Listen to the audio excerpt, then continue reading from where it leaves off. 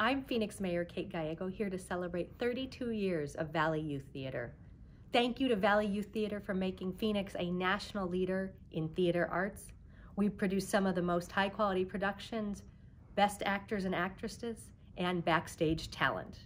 As someone who grew up doing youth theater, particularly on the black backstage side, I am just so impressed by the high quality and the investment in our young people.